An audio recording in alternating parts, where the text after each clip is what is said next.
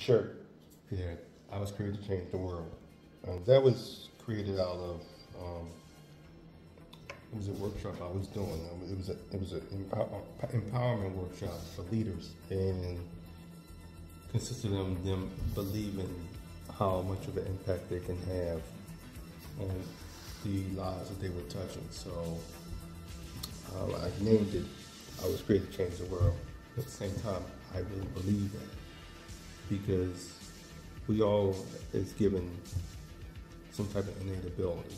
You know, we were given that at birth, and it's just a matter of us educating ourselves so we can nurture it. As we nurture it, it starts to evolve into something big. And, and the more you evolve it and you harness that power and utilize it, it's a power is knowledge. No power is not knowledge. Applied knowledge is power. So when you apply that knowledge, that's where the impact comes from. So I was created to change the world. You were created to change the world. Based on the power that you were given, discover it, own it, nurture it, offer it. When you serve, offer your superpower.